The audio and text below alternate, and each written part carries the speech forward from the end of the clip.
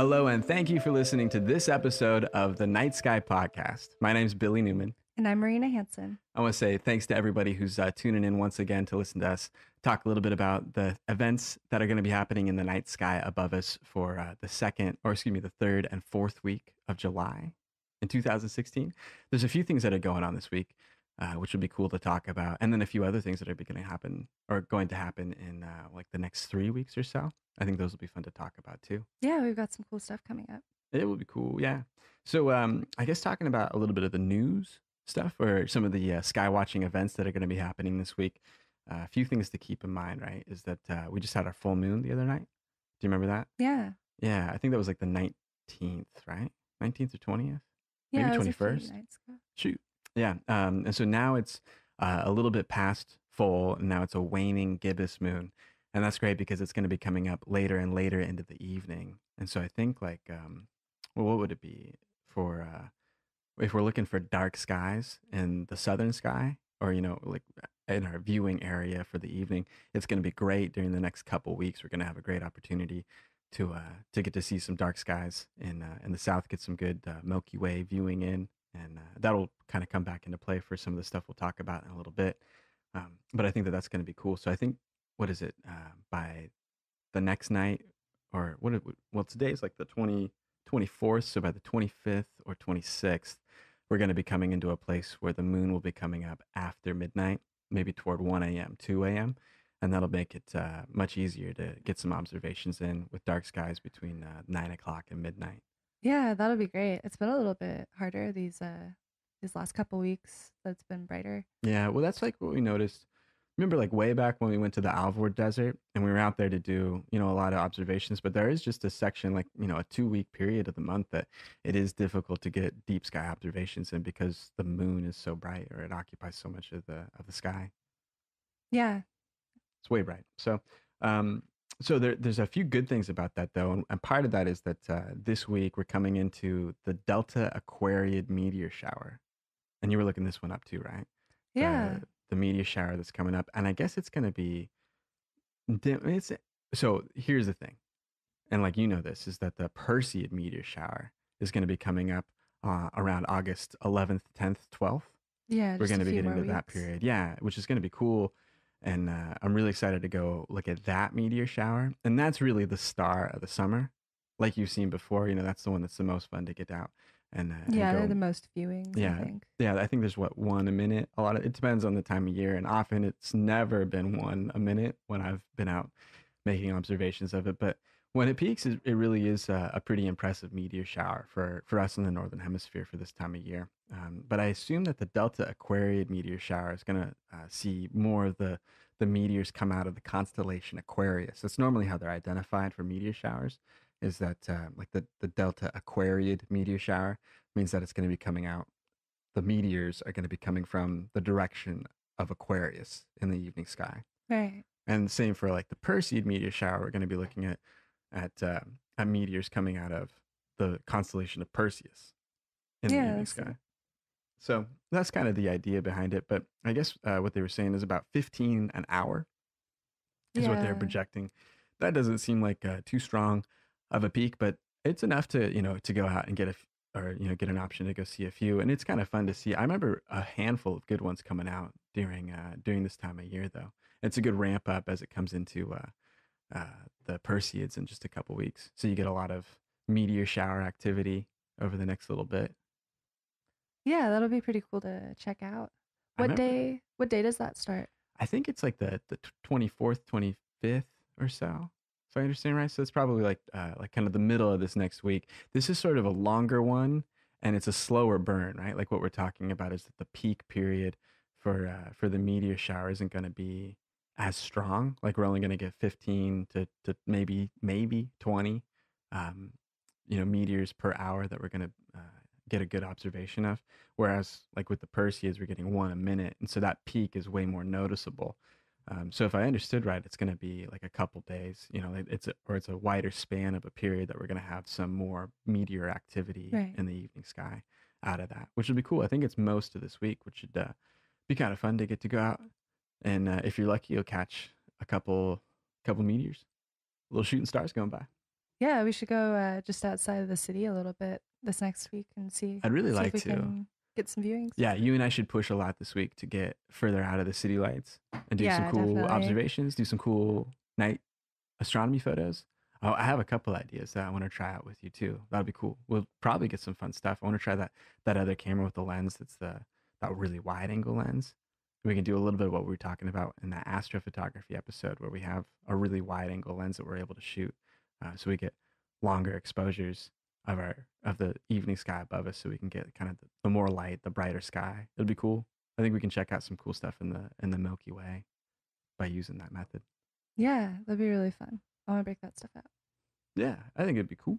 Um, yeah, we should try and do that this next week, and especially because it's July for us. You know, it's coming up to the end of July, and uh, it's strange that we're kind of now on the downhill side of the season. We're going to start sloping into more toward fall, and you really in just a few weeks by like, I mean, I know it's about a month from now, but it really seems to wrap up pretty quick. it And does. as fast as it's been a month ago from today, that seems like it just happened a minute ago. Uh, the end of the end of June, you know, and so it'll be a couple weeks into August, and we'll start feeling that fall feeling up here. The days are going to get a lot shorter. Even in like a week and a half, we're going to notice how much darker it is uh, where we're at when the or how much earlier it is that the sun goes down. It'll be strange, but it, it'll be um, dark by nine o'clock again instead of pretty stru- pretty well time. into twilight. Yeah. So we're going to see that kind of really rapidly drop off as uh, the daylight hours start to to get dimmer and dimmer and dimmer um, as we get. I think in like September, the time of sunset is about seven fifteen or so. Or you know, that's the time it starts getting dark, and that's how fast we see things change as we get closer and closer to the equinox.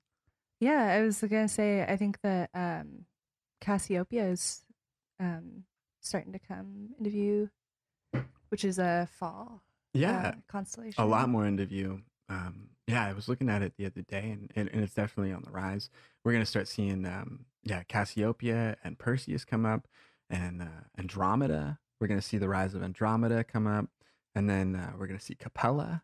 That'll be really cool. So that's that's always like the onset of fall, and that's those things that you start seeing in the uh, in the late evening at the beginning of or end of August, beginning of September. You start seeing those changes in the stars and a lot of the summer constellations, like what we talked about last week with the summer triangle and Scorpio and all of that, getting much further over into the west. And then as late night comes on, like after ten o'clock, eleven o'clock, midnight, you're going to see most of those constellations far enough over that they're really pretty close to the western horizon, and uh, they're just past our view all of a sudden, which will be strange to kind of see how how quickly the, the the stars above us kind of seem to change as we drop from season to season. But it'll be fun. I'm glad that uh, you know there's some new stars on the rise. We should do an episode about Cassiopeia and Andromeda and all the section of stuff that you can see over there. That's really fun with binoculars too, like what we talked about before. It's still in that that belt of the Milky Way, and so there's all that really dense clusters and you know just observable material out there in that area. It'll be fun to check out. Yeah, it'll be really cool as it starts coming more and more into view. I think so too. Yeah. So the other thing that's going on this week, and this is something. Well, we talked about it before in a past episode back in January. Um, was the uh, the occultations? Do you remember this? Yeah, I do. And it's when something is occulted. well, actually, I think you guys, everybody could check it out with the. I think it was like episode four, the occultation of Aldebaran, which was uh, an episode that we recorded back uh, in early January of this year. So that probably talks about it a lot. But um, Aldebaran is, is a special star because it's right on that plane of uh, of the ecliptic or, or where the moon is going to pass. Now, there's a few other things that we've learned about the draconic cycle and how the moon kind of shifts six degrees above and below the ecliptic, and that there's these nodes where it's right on the money. But um, but what that means is that the moon kind of floats up and down. So that's why we don't see an occultation of Aldebaran every month, but every once in a while, it seems like every six months or every I don't know, every once in a while in its cycle, we do get uh, the moon covering Aldebaran in totality, which is pretty cool. It does this with a few other stars uh, in the sky, and, and it does this with a few other things. But it seems like Aldebaran is one of the the most common or reoccurring stars that it, it seems to occult.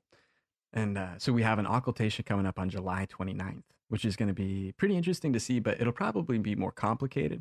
It's going to be an observation that you would make right before dawn in the morning sky because it's a winter constellation, right? It's in Taurus. Right. And uh, and so since it's a winter constellation, it's going to now just be past the sun after it's been in the sun for since Taurus is a uh, a zodiac sign and a constellation that's on the ecliptic. It's now past the sun. It's in the morning sky, and that's where we're going to see um, Aldebaran shining bright up in the morning sky, and then now the moon covering it over for us in the northern hemisphere.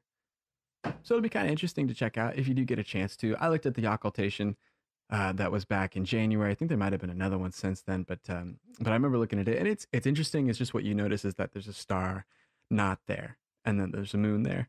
So so there's not more to see. It actually just ends up being less to see. But and this is interesting, and I had not heard of this before. There is more to see if you're in the right part of the planet. Now, what what it's called is a grazing occultation, and that's where and what so before I get ahead of before I get ahead of myself, what it is is down in I think El Paso, Texas. There's this line for the similar to an eclipse. You know what I'm talking about, where there's different sections of the world where you get to observe the eclipse. Mm, yeah. Yeah. So similarly to this, when we're dealing with an occultation, there's going to be this place on the planet where it's going to be outside of the moon's uh, the moon's radius or the moon's diameter. So we would just see both objects still. There would not be an occultation. And then from one perspective, one point of view, up in here in the northern hemisphere, the moon would be occulting Aldebaran. So there's this one spot though where it's going to graze, and you're going to see the the star Aldebaran just on the surface of the moon and it's going to pop in and out of uh, a view right on that line. So I think it's like part of El Paso and uh, sort of a diagonal line up that sort of cuts and curves over the south. And so it seems like it's kind of through part of Texas and maybe Louisiana and uh, and Arkansas or a few a few sections of area like that. There might be a line that you could see. What I looked up was the International Occultation Timing Association. You can go to occultations.org forward slash Alderbaran. And, uh, and there you can see a lot of information about, um, about the July 29th uh, occultation and the line that uh, this graze is going to be happening. But it looks like it'd be kind of cool since it's happening in the morning. What you'd see if, if you're looking at it with binoculars or over time, and I saw a couple videos that were like time lapses of this uh, this occurrence. But you see the the mountains of the moon out way in the distance cover up as the as the moon passes over Aldebaran. You see really in a refined amount of detail. You're able to see the mountains of the moon occult right on the edge of, of the moon that we can see the disk that we're able to view from Earth. We're able to see the moon kind of cover up the star. And then as it drops out past that mountain, we're able to see the star again from our position of Earth.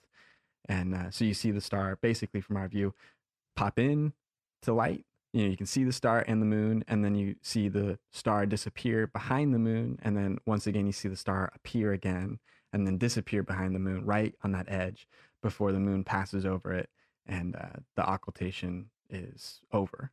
So it's kind of an interesting thing that you can probably make out.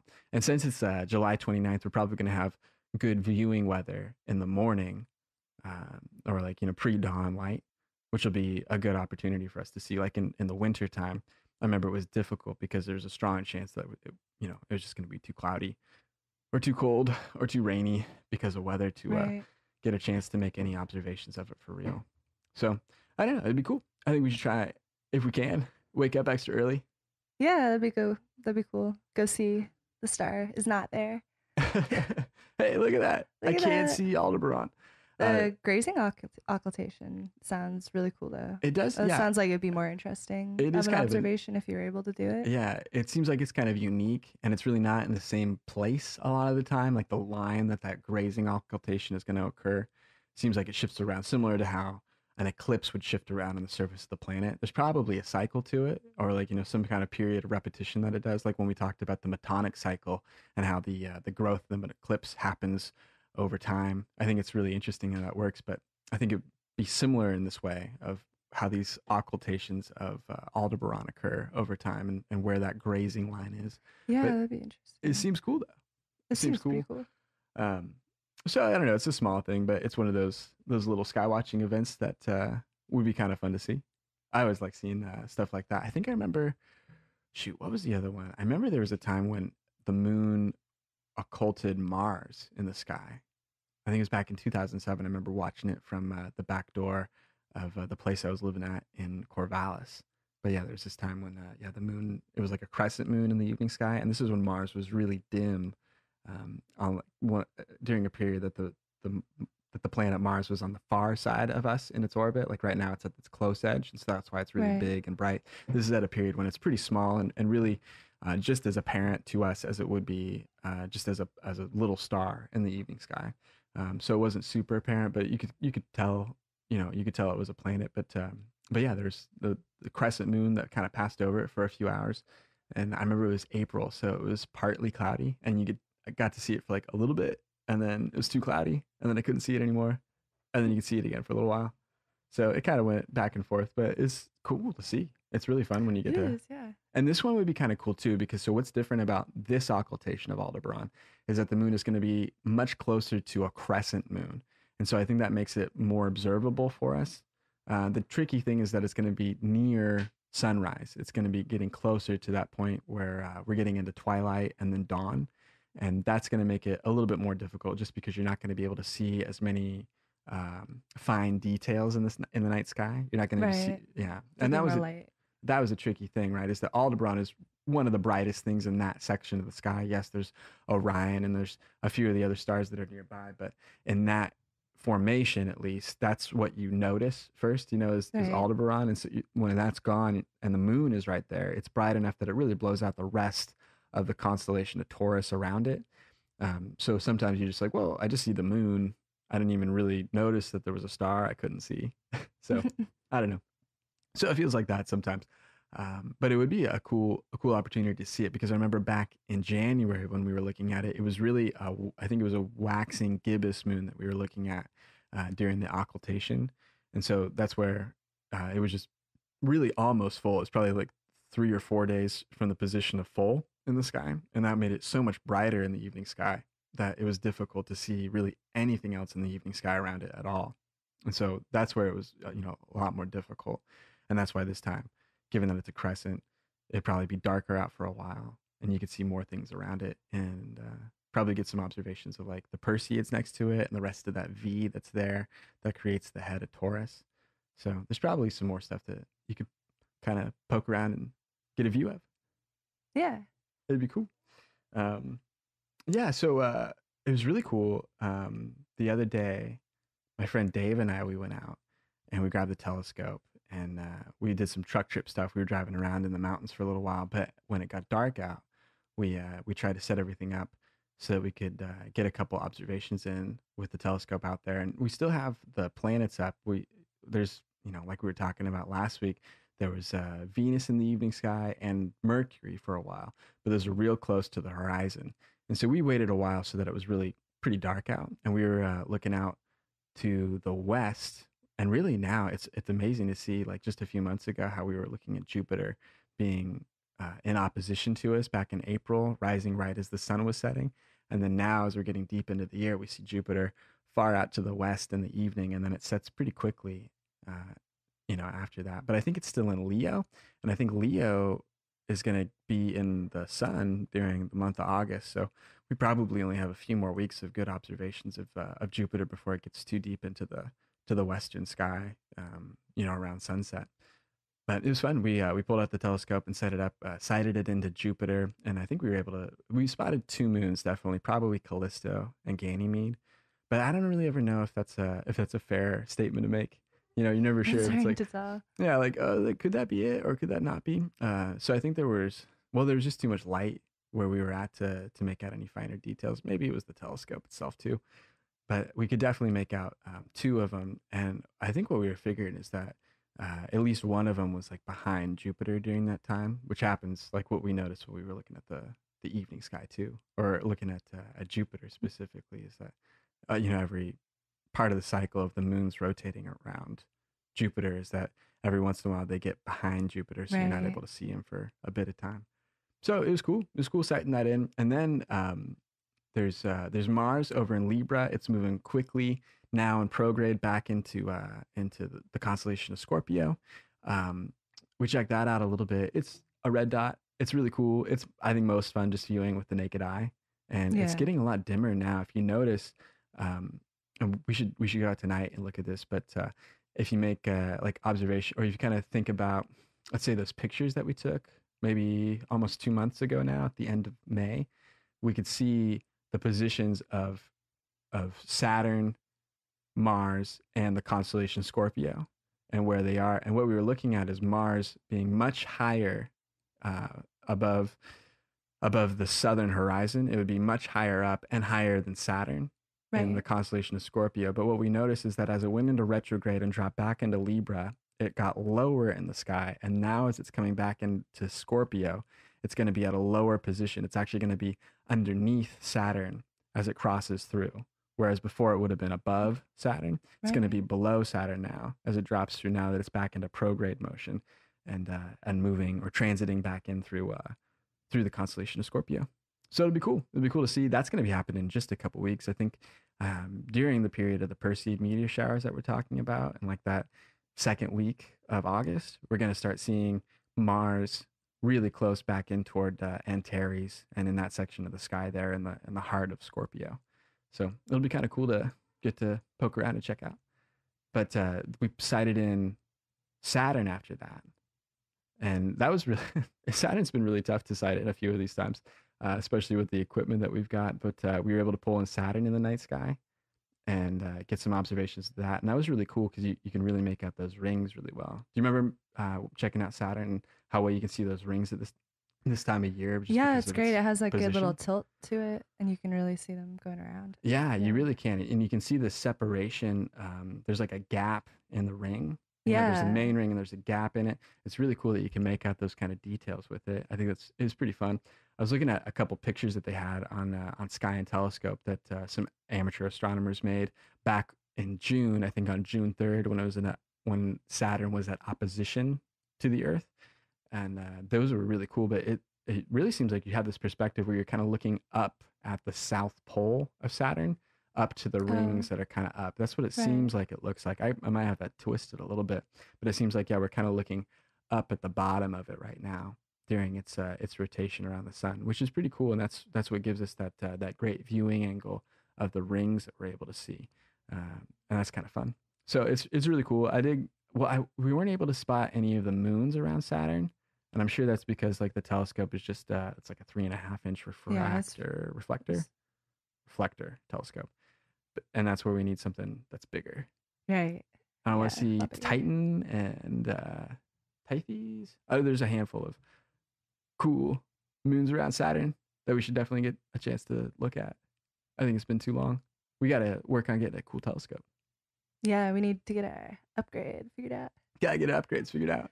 Um, we were looking at the galactic center too. After we looked at Saturn, it's it's right over from that. So looking at uh, like Scorpio, we have that really dense area of the sky down there where you see uh, like Scorpio and then the tail of Scorpio, and then there's that gap in between the tail of Scorpio and then the teapot shape. That's that asterism in Sagittarius, and that's that's a fun one to look at. But in that area of the sky, especially if you have dark skies, there's so much dense Milky Way I don't know, features right behind Sagittarius in that area. And it's really cool to, to look at. Have you been out in dark enough skies to get to see some of that?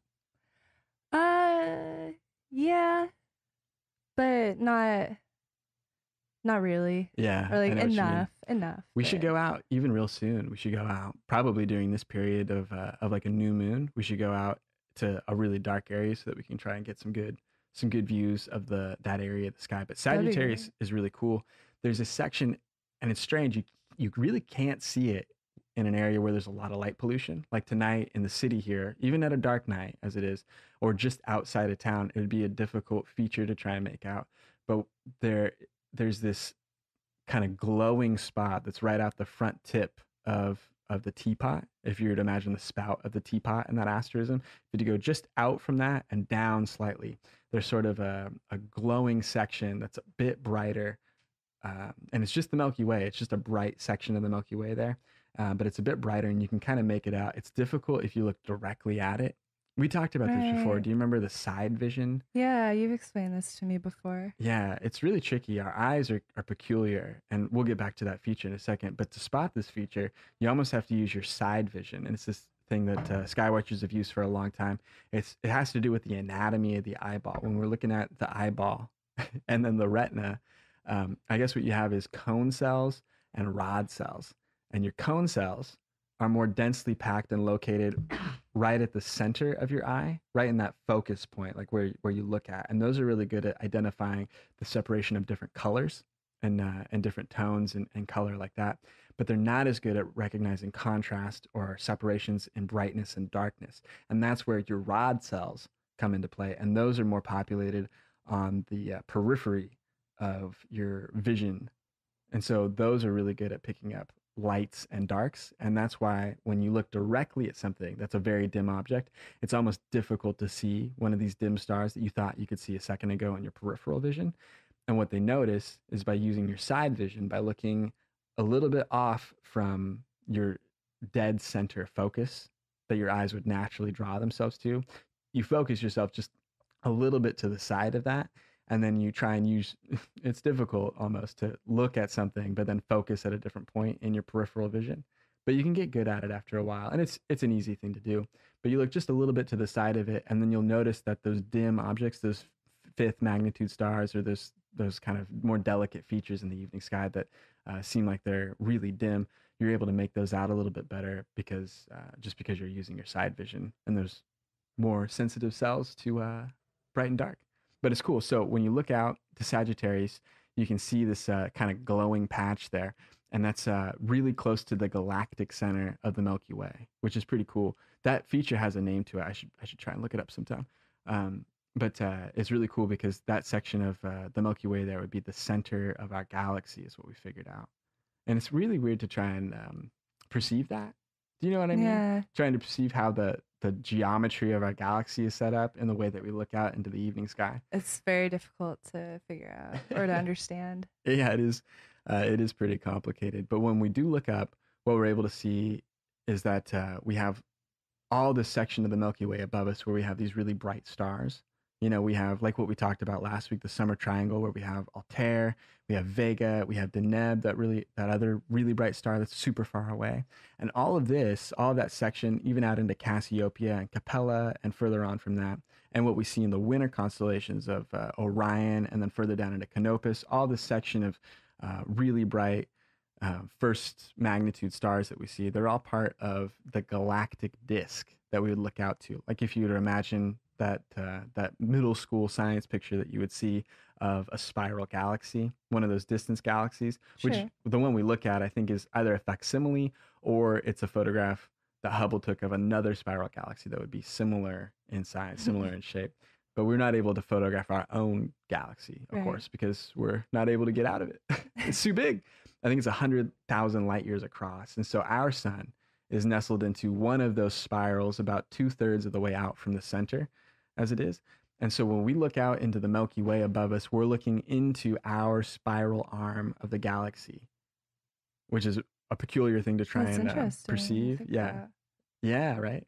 And then we're also looking more distant into that, uh, out further and further and further into other sections of the galaxy. But when we look into that milky substance that we see, that's distant stars that are super far away, maybe hundreds of thousands of light years, or or well, maybe not not hundreds of thousands, less than a hundred thousand, but up to ten thousand maybe. I don't know what they would be, but there's deep sky objects that are in that area um, that you look out into, and then a lot of other things that are closer too, like uh, like Vega we were talking about. It's 27 light years away. Things that are more in our local group, close to us, and uh, in our neighborhood where our star is, uh, which is pretty interesting how that how that works. But then as we look further south at this time of year, um, what we're going to see is uh, as we get into Sagittarius, there's a, a really dense cluster of uh, of Milky Way in that area. You know how it looks like the Milky Way. It doesn't really quite look like stars themselves individually, but it looks murky almost, or it looks hazy Yeah. as it is.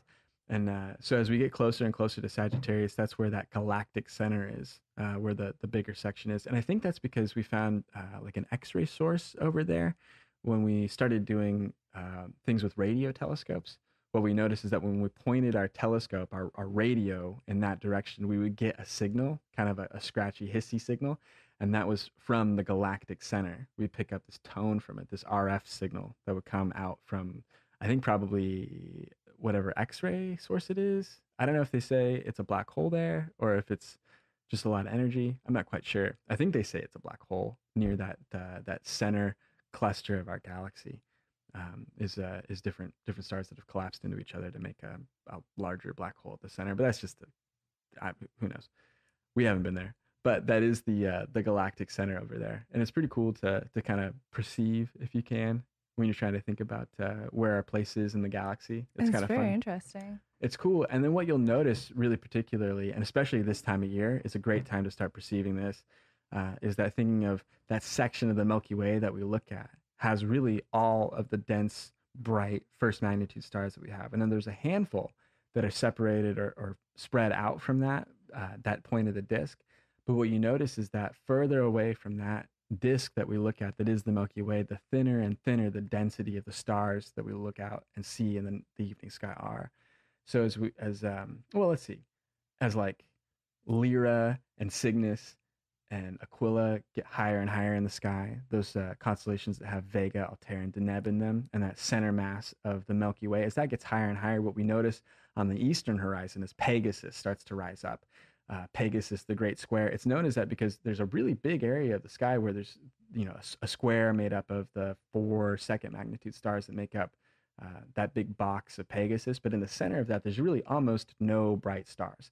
There's no other material there. And it starts to get what I'm saying is, and what you start noticing is that that part of the sky gets much and much less dense in stars. Like after Sagittarius, as Capricorn starts rising and as Aquarius starts rising, what we notice is that there's really almost no first magnitude or second magnitude stars in that region until we get to um, which starts to rise probably in the beginning of September. If you stay up late enough, um, you'll probably start seeing Fomalhaut come up, and that's the brightest star in the southern sky for the fall sky. And it's really strange how that is, but you just see a big gap since there's so much activity right now in our fall sky. We have the galactic center, we have Sagittarius, Scorpio, the two planets is really active and bright. And then in a few months, we'll just notice that whole section of the sky is really almost vacant. And that's because we're looking away from the galactic center. We're looking away from that, that disk, that dense disk of the Milky Way that has the uh, population of all of the bright main sequence first magnitude stars that we're able to see. And then later in the year, we start seeing um, the other end of the Milky Way start coming up as we see more of Cassiopeia and more of the Pleiades and Aldebaran and Orion and everything that kind of carries south from that, including you know Procyon and Sirius and Canopus down into the southern hemisphere. That's all still on a line of the Milky Way where we have uh, a lot of that activity of those bright stars. But it's cool. It's really strange to kind of see how the how everything kind of spins around us throughout the year as we kind of move around the sun. So it'll be fun. It'll be cool to to get to check out. But uh, but yeah, you guys should try and um, make out some observations of that. Our listeners, I mean, all, all twelve of them uh, should uh, should take a second to to kind of think about where the galactic center is over in Sagittarius and, and how different the star, how different space looks just a few degrees past that as it gets dimmer or thinner and thinner in its density of stars in the evening sky. It'd be kind of cool. yeah, it's really a neat spot to be looking at it. I thought so too. Yeah, it's a it's a great time of year. It's a it's a really fun area to look in the sky um, for us in this area. So it'd be cool. But uh, I I was gonna say, and you you should talk about this a lot. But um, we had uh, another listener email come in. Want to say thanks a bunch to Jason to uh, for getting a hold of us again. That was really cool. He got a hold of us one time before, but it's really fun to hear that uh, that someone's been listening to it um, at least a couple more times since uh, since I don't know whenever it was back in March or February that he got a hold of us before. But uh, it was great. He sent us an email, um, had a handful of photographs of the moon that he took. Did you get to see those? Yeah, I did. It was really cool. I think he sent us uh, four photos over that he took of the moon with his telescope and Yeah. camera. Really cool. Yeah. Got some mounts to set it up. Yeah, yeah. That's one thing that we got to figure out is the uh, the mounts for our camera to attach our camera essentially to the telescope And the telescope and its that, we- telescope. that oh we should, yeah. Oh, that we should be attaching. Oh, we our need all cameras that to. but yeah, it was super cool. Thank you so much, Jason, for sending those photos over to us. And uh, I think he was mentioning that uh, on the the chance he gets for another outing, he's gonna try to do some planetary photos, which would be super cool. I'd love to see those if you if you get That'd be so cool. I want to see some Saturn or some Jupiter. It'd be pretty cool. I think yeah, definitely, definitely good inspiration for us to to get our Uh, stuff in shape, I get a new telescope. I've been looking at those pieces. Like it, it's just like an attachment that would go onto the eyepiece, and then there's Right. there's like a just a lens mount on the other end of that. So you, we can take our camera, like the D3 or something, we could take that and just snap it onto that, and then effectively the lens to the camera is the telescope. Right. I don't understand really, and I'm sure there's lots of tutorials out there. I don't understand that you sight the telescope in at that point. Like now that the camera's hooked up to it, and you have to like move it, wiggle it around the whole time. So I'm sure there's a way to do it. You could probably just do it through the eyepiece in a frustrated manner. it's like, oh shoot, what do I do? Um, but there's probably a cool way to do it. I think it'd be fun to to try out. We should try and get a piece. I think I've seen cheap versions of that around for a lot of money, but less money. You know? Yeah. it's like probably uh, 200 bucks or something. We should for- check it out. I think so too. I think it'd be really cool. I've also seen these other pieces too. I don't think this would be the right choice for us, but I've seen these other pieces where uh, it just it's an astrophotography camera. It's like special built for that purpose. And so instead of Oh, what we have, like a camera camera, like a DSLR, what this is is basically a it's a digital sensor. It's like a you know like a full frame sensor, or something like that. That's kind of specially encased in this block, and that's the the telescope camera. And so it's really just made to fit onto a telescope. That's what its whole purpose is. Those are like those are like six hundred to a thousand dollars. It's probably more than a thousand dollars. You could probably get some great features out of that. I bet that there's probably some better quality options that you have with that. But I'm not sure though. I, I'm not completely convinced that it would be the best thing for it or not. But we should look into it a little bit. I just see those listed on the side as uh, little peripheral items for your telescope if you're into uh, into astrophotography. But yeah, it looks like this little encased metal box that uh, just kind of clamps on, and that's your image sensor for That's your kinda telescope cool. that kind of collects light. Yeah. If you if you're not really into photography but you want to do astrophotography, that's probably a good option. It, no, it really is. I'm sure that that that special built tool is is better for for that purpose. You know what I mean? Like it probably Yeah. has features and and options for for doing astrophotography that would be better than uh, than just like a regular Nikon or Canon DSLR added Sure. onto the top of a telescope. So and this probably has to do with some of the optical quality that or the the mounting options that you have to get to the telescope. I'm not sure what the weakest link in that chain would be, but I bet if you have a cool camera for astrophotography, it would be better prepared to do uh, you know cool planetary Yeah. photographs and stuff. It might be better at low light too. That's what I wonder a lot about. You know, it's like how do you, how do you get like great resolution or more light into the camera if everything's so dark or so dim? Like how do you how do you do it without doing like a long exposure on your camera? Right. If you're taking pictures of planets or something with the moon, you could probably get away with it pretty well, which I really liked about those photos we saw from Jason. Was that, you know, it's bright enough that you can kind of expose for it in your camera. But I wonder if you could do it as easily if you're taking photographs of Jupiter and its moons. You know, can you still do a 30th of a second exposure or a tenth of a second exposure, whatever it would be? I wonder about that too. I think it's a little bit different with telescopes because, or when you're doing photos with a telescope, because the telescope magnifies what you're looking at, but it also brings in a lot more light. Yeah, it does. And that's where you get, if I understand right, you get a huge benefit in your resolution, what color and, and what you're really able to see. I think so. because based on how big the diameter of your your yeah, objective how big the lens aperture is. of the Yeah, and that's what's able is. to collect more light. And I think that's you're right. What helps show a lot more light. yeah. You're probably able to do it easily then. I this is something that we should look into a little bit more. I only read just a little bit about it, but there are sort of different kinds of telescopes that are better for the type of astrophotography that you're trying to do. Oh, really? Like if you're trying to photograph planets specifically, Yeah. I think you want something that's a longer focal length Huh. for your telescope because of the way that it collects light or Yeah, shows it to you. that I collected. Okay. And then if you're trying to do um, like like deep space galaxies or like nebulas Right. and, and things like that, then that's um, like a fast telescope. huh. Um, Oh, I get that. Yeah. So similar like what we talk about, like a fast lens, like a, right, a yeah. wider aperture. Yeah. Yeah, and okay. it's a wider one so that it, I guess, it does better at capturing those fainter, more soft things. Interesting. So that's something that we should think about a little bit when Yeah, we're we looking at should. telescopes. And like Jason was recommending, we need to get a better telescope. Yes. We need to get a real telescope. We Oh, should yeah. set that. We're. I think we're trying to set up a Patreon page. I want to get that going. Our goal should be yeah, get telescope. Billy and Marina a telescope. that we could uh, make a bunch of observations. How cool would that be? That'd be pretty cool. That'd be pretty yeah, we should uh we should start looking into the kind of telescope we should grab. Oh yeah, definitely. There are so many options out there. There are a ton. Yeah, we should get something cool that we can kind of grow with for a while. I want to have Yeah. something that's good, but kind of small enough that we can pack around and, and make use That's of a lot. I want still too. yeah, but I really want to get a you know a front facing objective lens that's that's big enough Yeah. to get to get what we'd want, right? Yeah. to get some good uh, good observations in, get some good resolution, be able to see some more stuff. I think that'd be fun. Like right now, we can just barely make out those red bands on Jupiter. That's really all we can make out. And there's so much more you can see with just a better resolution in a telescope. Definitely. It would be really fun. And there's all those deep sky objects too. We yeah, should get into that. That would be really cool. Yeah, there's a lot of fun stuff like these globular clusters where you just see this little patch and it's like a thousand little stars all kind of clumped together. That sort of stuff's really fun too, where you get to make, hey, well, look at that. I didn't know that was there. Or nebula or other other features that are really pretty to see.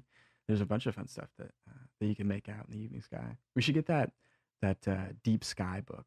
Oh yeah. book, yeah. I want to. I do. I Deep Sky Atlas would be really good. That kind of uh, runs down really meticulously everything out to like a 12th magnitude object that's observable in the evening sky in in every constellation. It's just this really Yeah. good in-depth chart to to find it and identify different features in the night sky.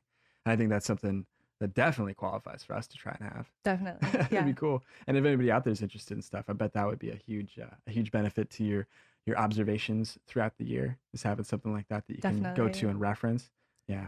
It's really it's really useful, especially when you're new to it still and you're you don't always remember exactly where things are in relation to Oh, each yeah. other. It's really nice or it's really cool just having a reference. Yeah, I totally agree. I think having like a real reference like that is great. When I was a kid, I had just a little constellation book of stuff, and that was what I used all the time. I was like, hey, what, how does this work? So I think having like a real a real chart that would that would be a big game changer for us. I think so. I don't know. We'll have to check it out sooner or later. But I think that's just about everything we have to get into for this episode of the Night Sky Podcast. On behalf of Marina Hansen, I want to say thank you all very much for listening. Please uh, rate, review, and subscribe to our podcast if you want to. Give it a couple things to check out. I think it'd be rad. But uh, yeah, on behalf of Marina Hansen, thanks a lot for listening. My name is Billy Newman, and I hope you guys get to tune in next time for episode 18 of the Night Sky Podcast.